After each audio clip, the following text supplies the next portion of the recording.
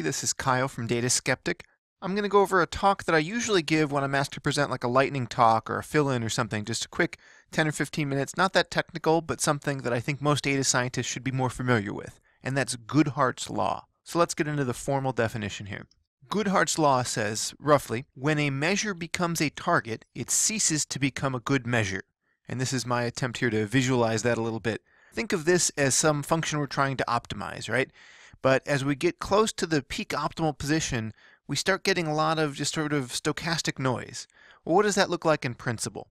Well, think of something like the FICO score, you know, how we rate the credit worthiness of people, at least here in the United States. It's obviously quite desirable to have a high credit rating.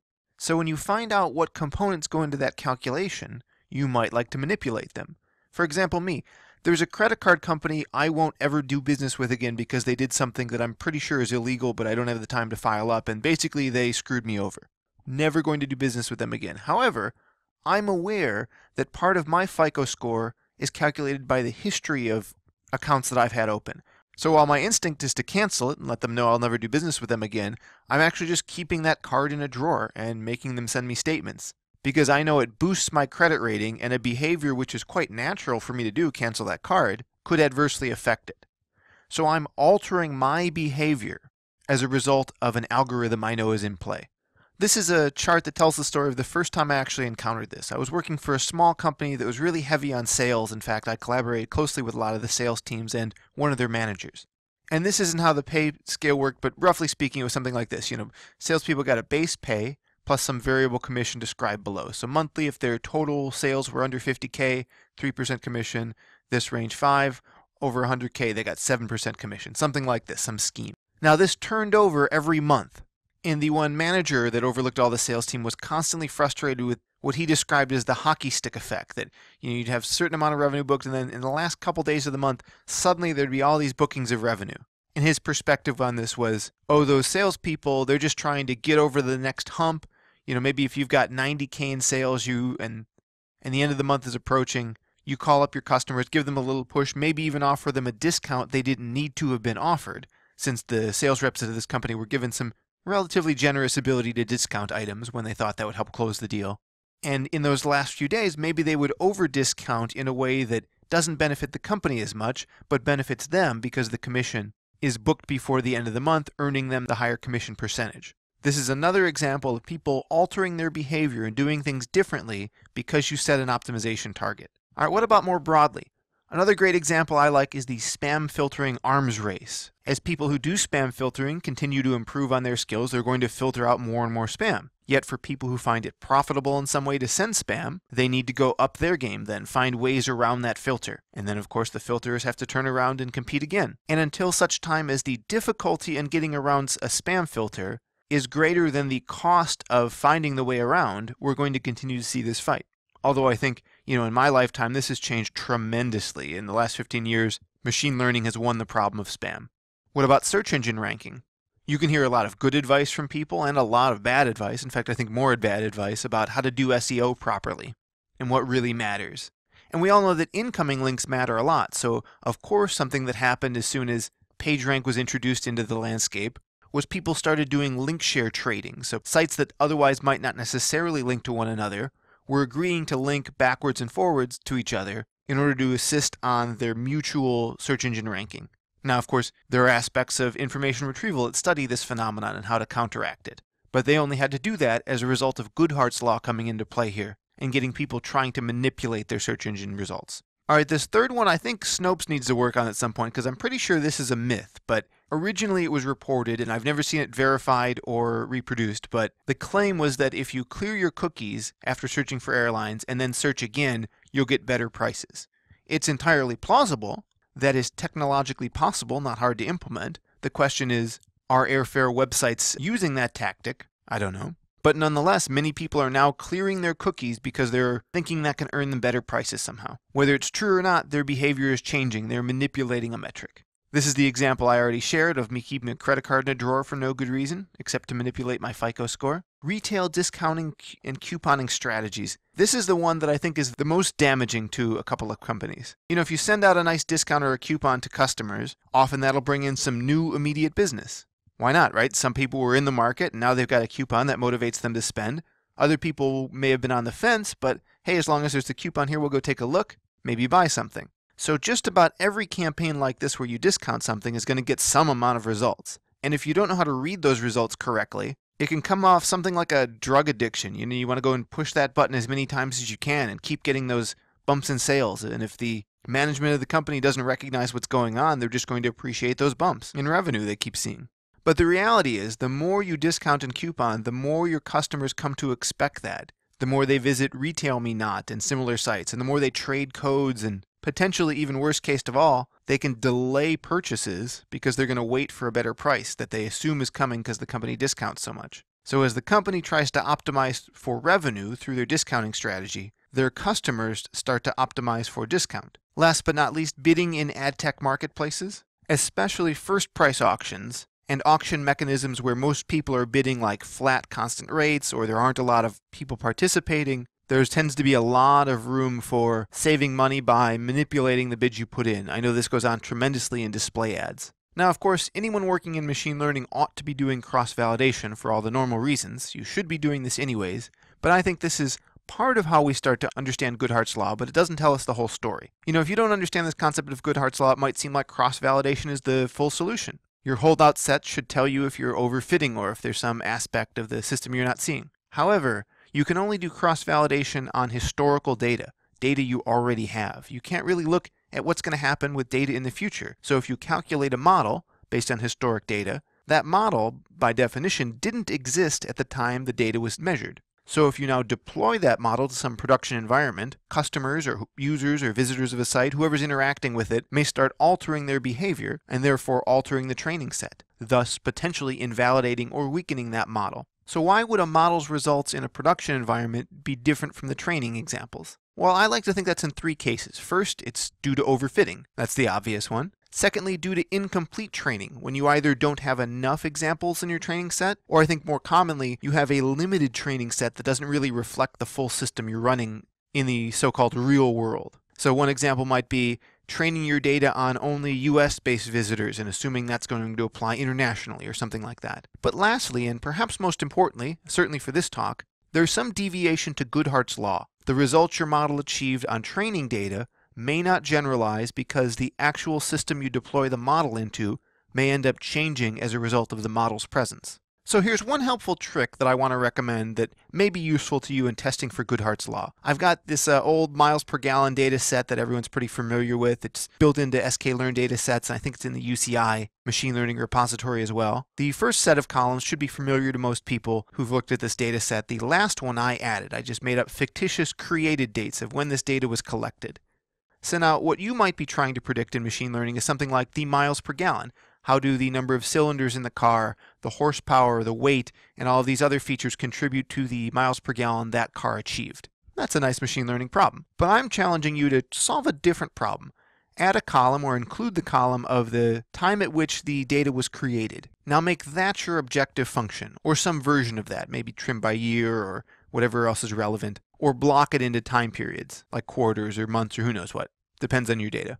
And then see if the features you have available are useful in predicting the date they were created. If so, then by definition, your data is evolving through time. The results are changing, and when it was recorded is sort of embedded in the input set. If you're able to make a reasonably good prediction of when the data was created, and assuming there's no leakage involved, but if you can do that, then you know the system you're describing is evolving, and therefore, one would assume that newer data is more predictive of the future than older data, for starters, but also, you expect your models to constantly drift and go out of date. What do I mean by drift? Let's look at the left side here first. This is our original fit. Blue dots are our data. We come along we do some very simple regression here, come up with the red line that represents our regression. We can now use that to make uh, predictions about the future, which might be helpful to us. Now, what happens a year later? when we collect more data. And then we decide to go back and refit our model. Maybe we get the red model we saw previously in black here, and a new model refit in red. Why aren't the models the same? If we have a good prediction of a system, every model should more or less predict the same results. Well, here we get a difference because the data has fundamentally changed. Now one option is that our original training data was incomplete in some way, or not large enough to really optimize to the best parameters. But as I've drawn it here, it's more likely that Goodhart's law is in play. Something about the business has changed, and we need to build a new model to reflect that. Now, it could also be that that change is just systematic. It has nothing to do with Goodhart's law per se. If your model is not impacting the experience of your users, then it's probably not Goodhart's law. This could reflect just changing market conditions. But to some degree, if the model is altering that system, it's likely to cause drift. Well, you've got to keep an eye on drift and look at it from several sources. This fictitious plot I've done here is a theoretical release, uh, I would call it a botched release, of some software application. We have a time series looking at, at the response of an API, and it was on average giving us about a 30 millisecond response time. And then suddenly, at time 600, whenever that was, we saw an immediate plateaued release. I've seen a lot of systems that behave like this when some code is released to a production system that either wasn't tested well enough or the testing couldn't adequately simulate what would happen in their production system. And this is the nature of software errors. You jump in big plateaus. However, a data scientist releasing a model of some kind is more likely to see drift along these lines, something subtle. You know, you slightly change the way you're doing recommendations or sorting offers or pricing goods many people are not going to change their behavior. They're working with the system in a predictable way that they're used to. Now, of course, if you double your prices overnight, you're going to see a big plateau. But if you raise your prices by 3% overnight, only a minority of people are going to see exactly that and complain. Even those that don't like it will take time to find a new vendor. But market forces may kick in over time and just say people uh, end up buying less because they find that the costs are just adding up over time too quickly. This is the type of drift I find when machine learning models are deployed that exhibit Goodhart's law in some way. So how do we deal with Goodhart's law? I believe detection is key. You must be vigilant about monitoring and having the right metrics that can tell you if this is happening. I think experimentation is also heavily required. You can't be afraid to release models or make changes. A failure to act is a failure to innovate. To be successful, you need agile methods for model deployment. In most situations I've been in, when I'm helping a company, I work towards an environment where we can do continuous deployments anytime we want. Now, we do those in an A B test fashion, but I want there to be no friction between me and pushing out some experiment or some experimental version of a model. So, causal impact is one interesting tool. I did a whole episode of Data Skeptic on this. I recommend you guys go back into the archives and listen to. We go into details there, but at a high level, Causal impact uses historical data to make some predictions, and at the time some intervention happens or some change or like a model release, help you estimate the impact of that model release or that change, which more or less arrives at the difference between what actually happened and what was forecasted to have happened without the intervention. Now, Goodhart's law also can manifest as what I call a self fulfilling prophecy. And you've really got to be aware of this. Think of something like lead qualification you work for a company that has people filling out a form at a website, and you get more submissions than the sales team can quickly respond to. So you have to make predictions about the leads that are going to close and prioritize those, or maybe route them to the agents most likely to close. Now, as soon as you start acting on that model and prioritizing those leads to those customers, or those leads to individual sales reps, this can quickly become a self fulfilling prophecy. Now, if your model is just guessing at random, then in theory nothing should change. The reps are all randomly selecting from a pool of incoming leads as they did before. However, if your prioritization gives any advantage over random guessing whatsoever, then you should see a lift in the close rate. Those salespeople will either close more or be faster in closing those deals. And because they're prioritizing them, if time to response has any value, it will manifest very quickly. And those that were therefore deprioritized, put to the ends of queues, may suffer from that delay, whereas otherwise they could have been closed. So if your model perfectly predicts that system, then you've got an optimal ordering. But if your model is only just doing okay, like a B minus average, then you'll demonstrate the value, and the model may get into a situation where it's not able to learn the more complex system that's there to be described. If you prioritize based on the B minus model, counterexamples that could get you into the A minus range might never occur. This can be fought with maybe a bit of randomness, so prioritize 80% of the results based on these predictions you're making and 20% based on just random population or experimental populations. You will never win against Goodhart's law.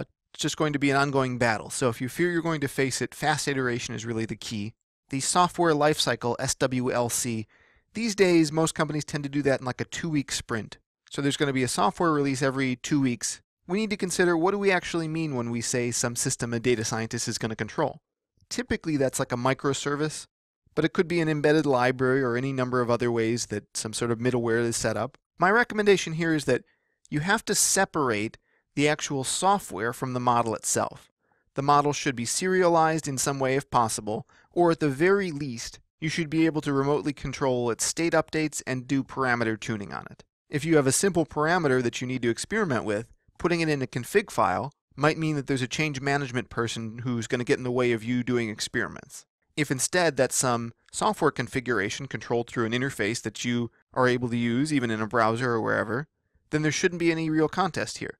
Now, that is a production system, so you could get pushback, but the argument should be that if there's concern about that parameter being changed, the quality assurance team should be able to do whatever they want to test the changing of the parameter or its configurations, run any simulations you'd like, to make sure the software doesn't fail on a change. And for any reasonable company, that should alleviate the question. You've got to be able to run experiments, and that path has to be cleared. Another important point in the topic of Goodhart's Law is being able to give explanatory powers to your model. Often, Goodhart's Law is only going to show up, at least initially, in some small subset. You know, raise your prices. Some people will defect immediately. Most people won't even notice, but might recognize at the end of the month that their pocketbook's a little bit lighter and start making changes. If your model is interpretable, you can look at how it's changing, what it's valuing. Sometimes you are fortunate enough to get interpretable models, like this one here, that make a great deal of intuitive sense, and anyone in the business can appreciate them. Decision trees are often heralded for their interpretability for this reason. However, when you get a decision tree that looks like this, I'm really not quite clear on how interpretable that's going to be. But anyway, if interpretability is your issue, I'd recommend a paper called Why Should I Trust You? I interviewed the lead author on Data Skeptic a while back. You should check out that episode as well. They're developing some tools that are really interesting about making individual use cases that are interesting, finding some local region of the model and describing that. I won't go into the details here because you can listen to that episode, but this is a very useful tool. It's helping us in situations where model interpretability is a problem. If you have an uninterpretable model, you're a little bit more at risk for Goodhart's law. If you have an interpretable model, you can ask questions about logically how has it been evolving, and that might give you some insight into the fact that you're experiencing a change as a result of the model itself. So in summary, Goodhart's law once again, when a measure becomes a target, it ceases to be a good measure. Businesses set KPIs, key performance indicators, all the time. Employees get their bonuses and salaries tied to it. Therefore, they're definitely going to want that KPI to be as high as possible. If it's truly measuring the success of the business, that's great. If it's measuring a quasi success or a proxy for success, then you might end up incentivizing your employees to optimize a little bit left of center, actually. Goodhart's Law is really important in that way. As a data scientist, if your work is at all meaningful, you will encounter it. What do I mean by that? Well, if your work isn't meaningful, no one's going to make any decisions based on it. If there are decisions being made based on it, maybe your model even manifests as some microservice in a production environment that's getting tens of thousands of calls a minute. Each one of those is an important decision that's going to impact the results of that company or organization. And then the people interacting with it may change their behavior. That's a meaningful integration and one that's at risk of being affected by Goodhart's Law. There's no magic solution. You've got to try and measure it in your data. I think work on explanatory models will help to mitigate this. And my last bit of advice don't let your average case blind you. Even if some deployment increased some metric by a little bit, look at the tails and see if Goodhart's Law is in effect there. All right, I hope you enjoyed these quick thoughts. If you've got any comments on Goodhart's Law, please share them with me. I'd love to hear your anecdotes or stories. Maybe we'll even do another extended episode of Data Skeptic if people want to share their thoughts. I'd love for you to send me a WAV or MP3 file telling your story uh, of an encounter with Goodhart's Law. You can find me at dataskeptic.com or on Twitter at dataskeptic. Data Skeptic is a listener supported program. To support the show, visit dataskeptic.com and click on the membership tab.